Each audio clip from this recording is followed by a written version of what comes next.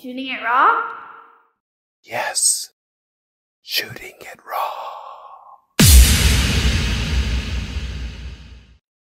Hamburger and fries. Okay, this is great. Okay, so it's a photo of I guess it's a, a shot of from your from your book, I'm assuming.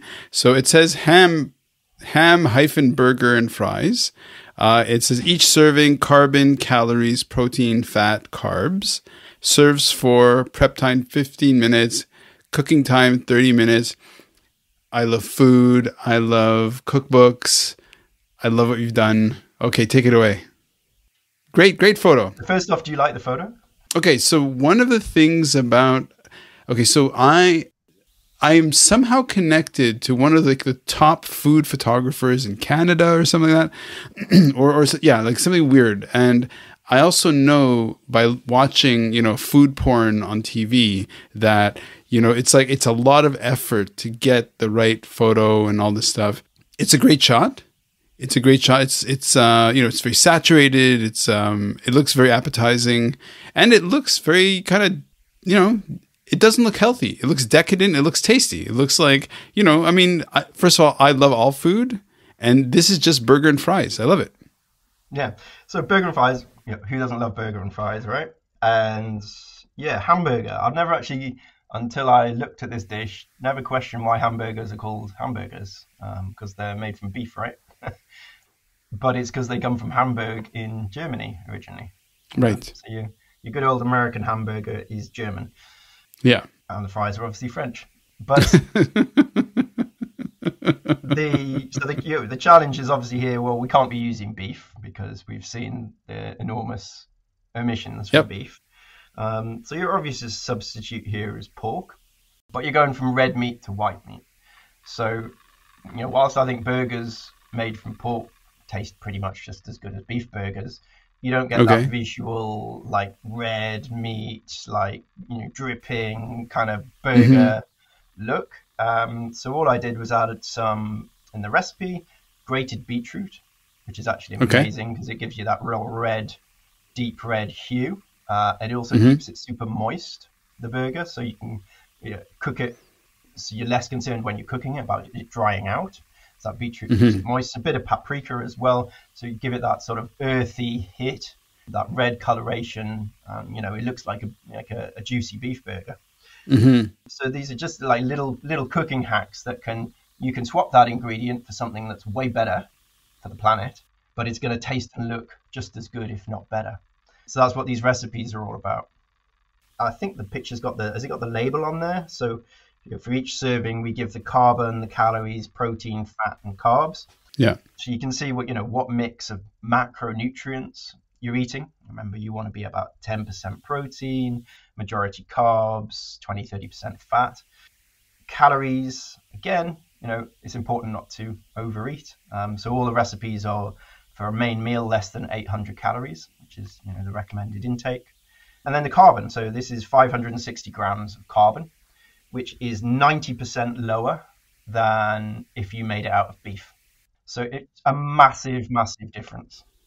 Right. Now this carbon is the carbon emission Carbon emissions, yeah. because you know a carbohydrate is carbon, hydrogen, and oxygen. So okay, Yeah. so just to separate that, the car- carbon is definitely the, the carbon emission. Yes. Okay. So yeah, at the end of every recipe, we'll just we just say, for instance, this one says the same serving size has a whopper, excuse the pun, ninety percent lower carbon footprint, twenty percent fewer calories, forty percent less fat than the equivalent beef burger recipe. Wicked. So you know instantly the impact of just this one ingredient swap, a couple of little ingredient tweaks, delicious meal, better for you, better for the planet. And that was the idea. That's great. Okay, so um, I can't remember if the last time we spoke was over a year ago. Like, how long did it take for you to kind of put this book together and publish it? Like, Yeah, it's probably been about nine months. Yeah, so Okay. I, I, I, you know, so I started off with all the original recipes of just the world's favorite dishes. mhm. So we got, you know, load, uh, read you a few of them. We've got, you know, classic dishes, things like, you know, spaghetti bolognese. Um, we got loads of soups in there, starters, peri peri chicken, carbonara, pasta bake, cassoulet, moussaka, loads of curries, fakeaways, so things like chow mein, kung pao, gyros, risottos, uh, bibimbaps. So we got we got you know loads of staples and great foods in there. Sorry, I have to jump in.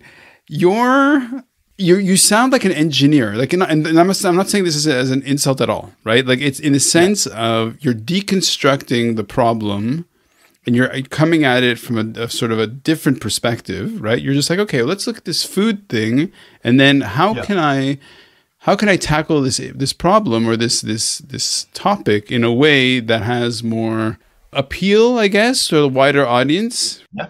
yeah. So why don't you talk about the the intellectual process of getting to writing a cookbook? As a kind of as a as a tool as a solution right? Like as a as a as an engineered solution. Yeah. Well i mean it was exactly because of you know my failed attempt to go vegan or vegetarian you know because if you want to do this really simply go vegan or vegetarian right? That's you're going to mm-hmm. win every time on carbon emissions uh, despite okay. what people say about almonds or avocados. Right right. If you eat mainly vegetables then you're going to have it's a huge. diet for the planet. Yeah, it's huge. It's huge. There's no denying that. Yeah. Uh, but I failed at that, and I thought, well, is there a way? And, and, and there are lots of other people out there who, yes, they care about climate change, they care about sustainability, they care about the planet, but they're just, you know, we're wed in our ways, and we are used to eating what we eat, and they don't care maybe enough to to to go vegetarian because it's such a big change and it, it's a big cultural well, change. Yeah, there's that for sure.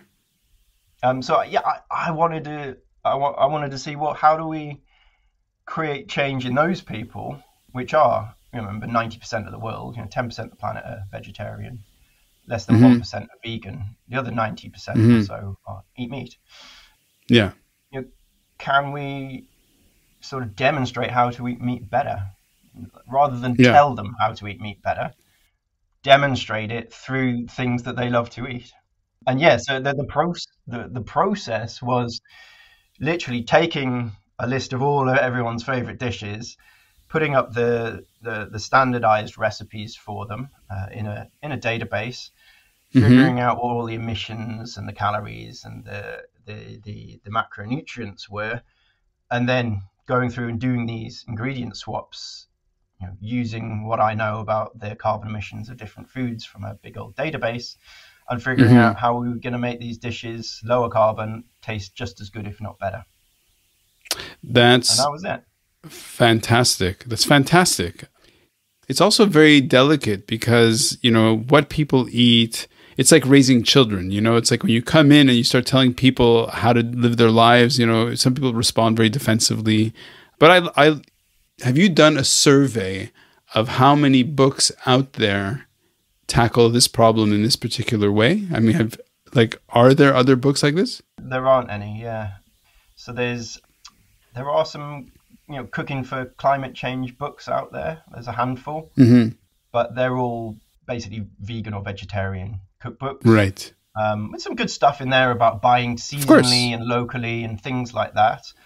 The um, oh, there's a really good one. I've forgotten the name now though. Uh, what's it called?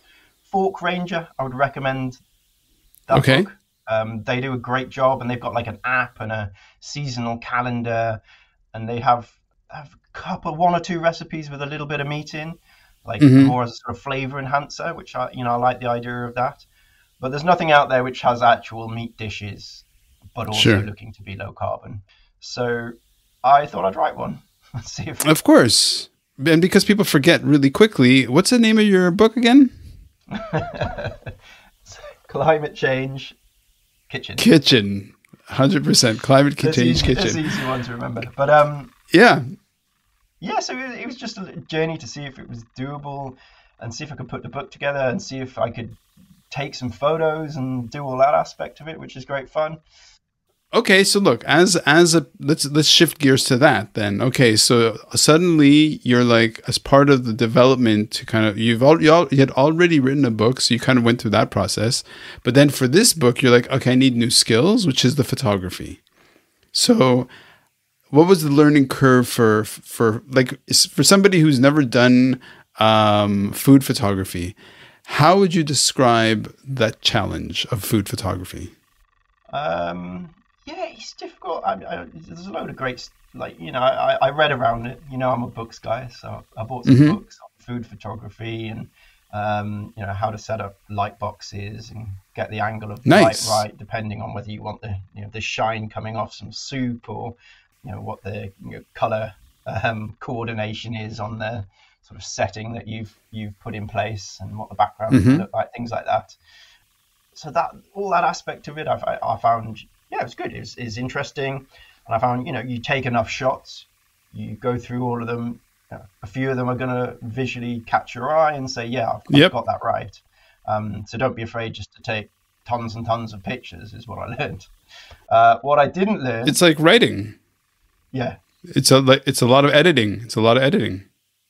Uh, what I didn't realize was the importance of the angle of the food or, or the subtle mm-hmm. angles when you take it. So, so I was, if I'm taking straight down shots of a circular plate, let's say, in my mind, I'm like, well, it doesn't matter whether I'm taking this, uh, you know, landscape or portrait. I'm mm. going to be able to rotate this after, and I can fit it onto the page how I want to structure the, the layout. Yeah. And then you do that, and you're like, okay, I, I took it landscape, but now I want it portrait to make a full page. And you mm. look at hmm. it and you're like, well, something's not, something's off.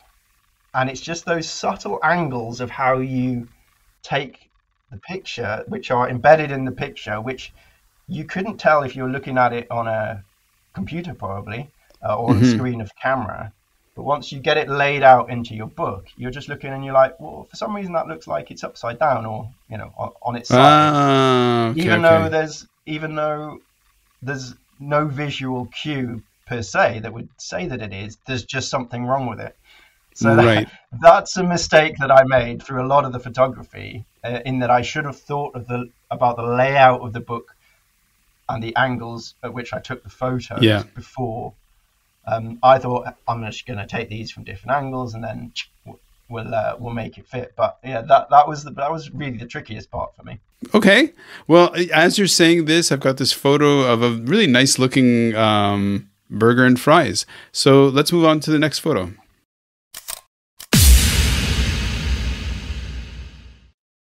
So, is life really a gift? Really? Can you make every second count? That's the whole point of the podcast. So if you like what you've seen and you're inspired, because that really is my mission, then please give it a like, subscribe, and share. Shooting it raw? Yes. Shooting